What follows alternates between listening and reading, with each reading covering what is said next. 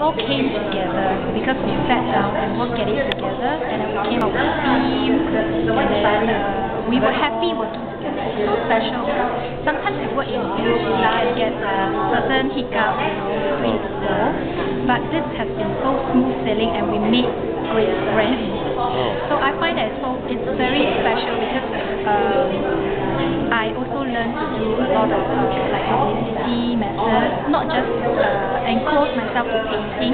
So besides painting, I also uh, uh, take care of all the publicity uh, materials because we design the, the posters and we came up with ideas of uh, certain things what to do and uh, so all in all it has been good lah, a, great learning uh, journey. So how long did it take you to do this? Uh, to prepare this exhibition, I guess we spent uh, um,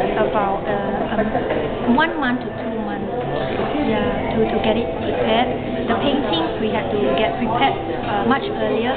Then we left uh, quite a bit of time. Then we thought that we could hang out, put our legs on the table, but actually not really. So we, we went on to do uh, a lot of coordination with Fullerton, and then after that, uh, like. Uh, also we link up with someone from Hong Kong that uh, he, he very excited